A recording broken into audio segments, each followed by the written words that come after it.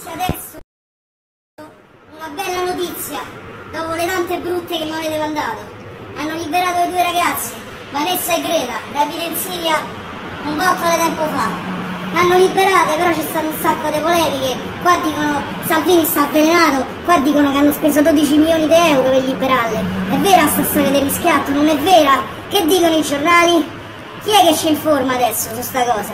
È vero o non è vero che gli hanno dato ai terroristi 12 milioni di euro? Comunque i ragazzi stanno bene, un po' denutrite, non sono state trattate bene perché logicamente non stavano in vacanza, sono state catturate, anzi che l'hanno rilasciate, siamo contenti di questo. Poi vedremo se questi 12 milioni di euro è andata veramente come dice Salvini. Chi lo sa? Boh.